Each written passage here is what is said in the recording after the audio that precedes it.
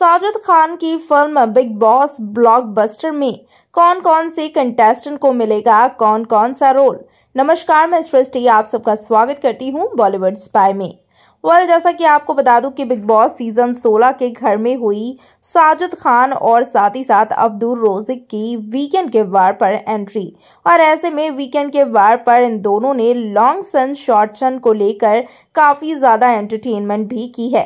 ऐसे में एक गेम रखा गया जहाँ साजिद खान ने अपनी मूवी बिग बॉस ब्लॉकबस्टर बनाई और उस फ़िल्म में सभी कंटेस्टेंट्स को अपने अपने अकॉर्डिंग कास्ट किया, जहाँ एक्टर के तौर पर एमसी स्टान और एक्ट्रेस के तौर पर प्रियंका चहर चौधरी को रखेंगे।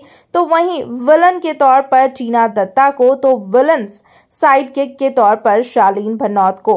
वहीं कॉमेडियन की बात करें तो कॉमिक एक्टर में अर्चना गौतम रहेंगी और सपोर्टिंग एक्टर में शिव ठाकरे। साथ ही साथ एक्स्ट्रा में निमृत कौर राहुल वालिया, सौंदर्य शर्मा और सुम्बुल तौकीर खान।